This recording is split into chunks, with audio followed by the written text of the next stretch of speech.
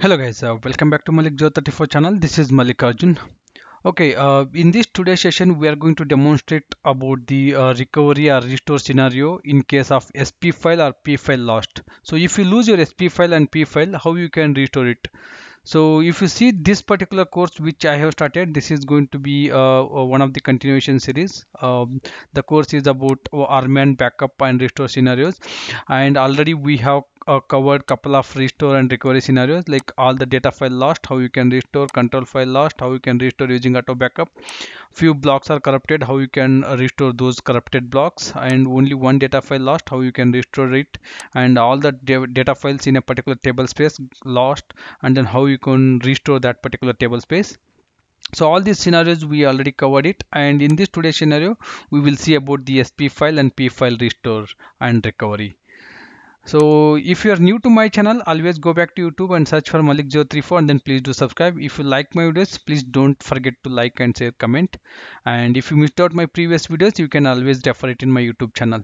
Okay, let's get started with the today's session that is SP file or a P file lost or corrupted, how you can restore it. So this particular today's session, I'm going to demonstrate in, in two methods. One is uh, when you are using your recovery catalog and when you when you are not using your recovery catalog. In both the scenarios, how you can restore your SP file or a P file. Okay, let's see. Uh, I have my uh, database here. I have my uh, dev database which is running here and I also have my recovery catalog that is a catdb uh, it's a recovery catalog for my uh, dev database so what I'll do uh, I'll quickly connect to my database and I'll check uh, show parameter name.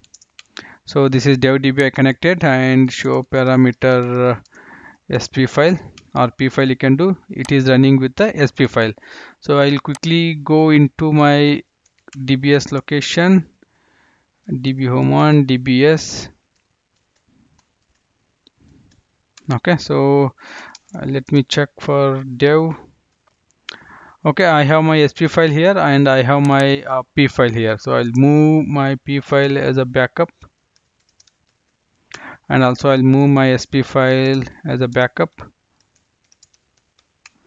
So if I can check I have SP file backup I have P file backup. So right now I don't have P file and I don't have any init file in my DBS location. So what I'll do I'll try to shut down my database shut immediate. Or shut about or you can kill your database. And once you try to start your database it will not start you. That p file or sp file is the initial phase of my database to start right? So if that itself does not is available so then you will not be able to take your database to the no mount mode also right? So i'll do startup so you can see here failure in processing the system parameter could not open the parameter file. It is not able to find sp file. It is not able to find the init file.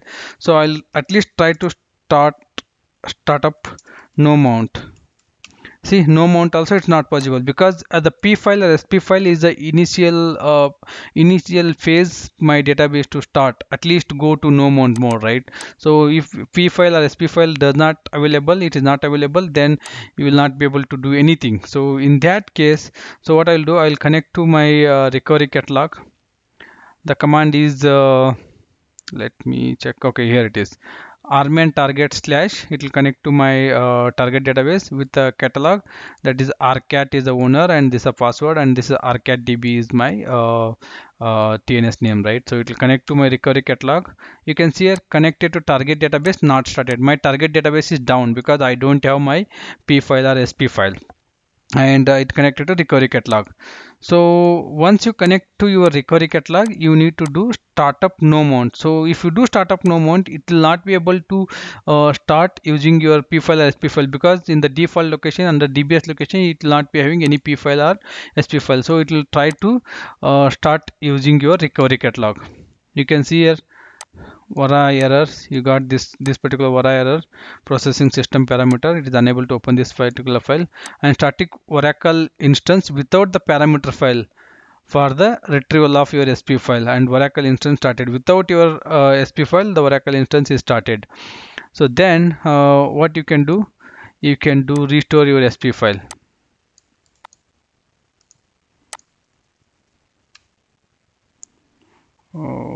okay automatic channel allocation failed. Oracle error from the recovery catalog. Target database not found. Okay so target database not found. In that case you need to set your dbid set uh, dbid so you have to get your basically you have to get your dbid so uh, you, you have to set your dbid you have to note down your dbid what was your dbid before you your database goes down? You can get it from uh, your recovery catalog or you can get it from your alert log or you know you have to you, you should know about your dbid first of all. So you have to set your dbid and then you have to start your uh, uh, restore sp file. You can see right the restore sp file. So my sp file got restored so then next command is so I will just put this command here. So I forgot to mention that. Okay you have to set your dbid here before you restore your uh, sp file. You have to set your dbid and then restore sp file and startup force. So before startup force if you can uh, quickly uh, go to your um, dbs location and verify that sp file cd dbs ll star.dev you can see this particular sp file got restored here right? So now we will do the final startup force. So that will start with my sp file.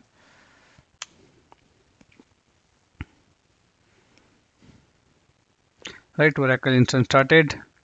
This time you won't find that that particular error message uh, you know you used to get this particular error message right? So you you don't see that particular error message now. So it is just a clean startup right? Your database is, is started cleanly. So you can uh, exit. You can connect back to your SQL plus. Okay you can say select name comma open underscore mode from vdollar database Write your database is read write mode show parameter sp file. You can see your sp file got restored so that already be verified. Again one more time you can verify it going to that particular location or you can do ls-ltr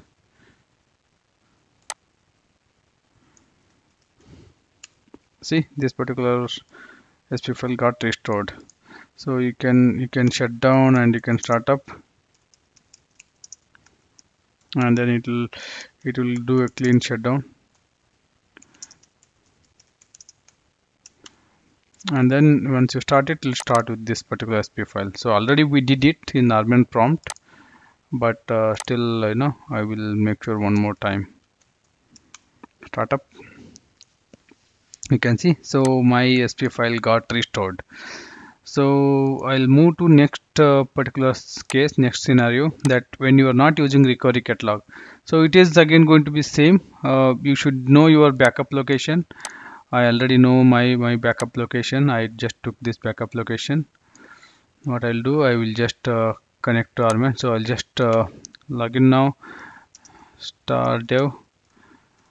Again I will uh, move it. I'll remove it see I don't have any uh, init file or any sp file. So now I'll connect back to database. I'll set immediate. Okay database is going down now. I'll try to start it. Again I will uh, you know unable to start my database. At least I will not be able to take it to the no mount.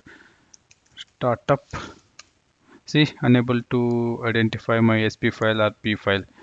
Startup no mount startup no mount also not possible right? So in that case so I don't have any recovery catalog database. So how I can restore it? So the commands are same pretty straightforward. So just connect back to your RMAN without catalog right? Like I'm just connecting RMAN target slash. So it will just connect uh, and then it will uh, read my it, it, has to read my uh, recovery uh, the uh, the control file instead of recovery catalog.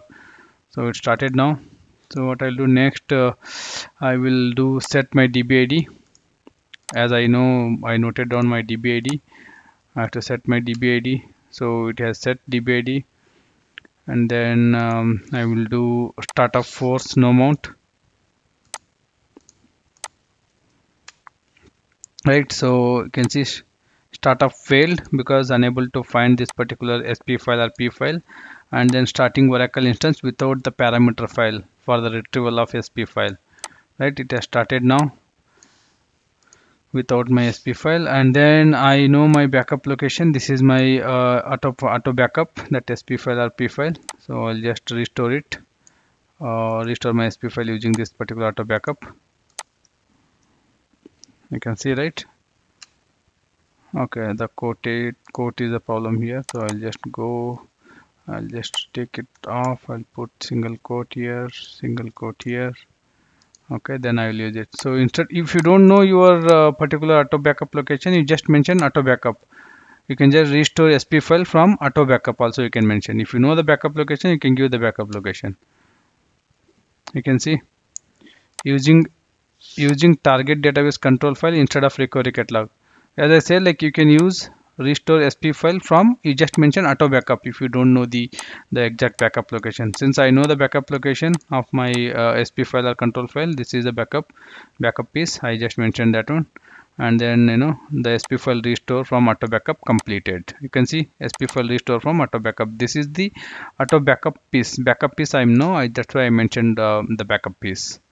So and then do a startup force and then it will uh, it will shut down and it will start with the uh, it will start with the the, the p file got, which got created. I'll just verify it one more time here. You can see your sp file got created here. It is under dbs location right? So do startup force it, it cleanly started here. So i'll just verify and i'll connect back to database. Select name comma open underscore mode from vdollar database you can see my database started.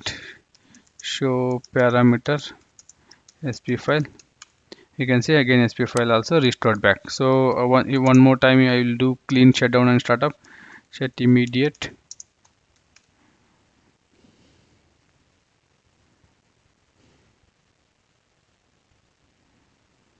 Right database closed database dismounted database shutdown and i'll do startup right using this particular sp file it is now starting. Yeah it started. Database mounted and database open right? So this is this is uh, this, this particular restore scenario uh, when, without using your recovery catalog uh, using auto backup you can restore your sp file or when you are using your recovery catalog you can restore your sp file. So this this sp file or p file restoration is very uh, you know uh, quite simple and uh, it will help you guys uh, for more understanding okay? Uh, I will come up with the next scenario control file corruption scenario. So uh, I have listed out uh, you know uh, four to five control file scenarios scenarios uh, uh, specifically for this control file uh, loss scenario. And when when you are having multiplex control file if you lose one control file how you can restore? If you lose both the control file how you can restore? So many scenarios i listed out like five to six scenarios. So we will see it in uh, uh, tomorrow session. Thank you guys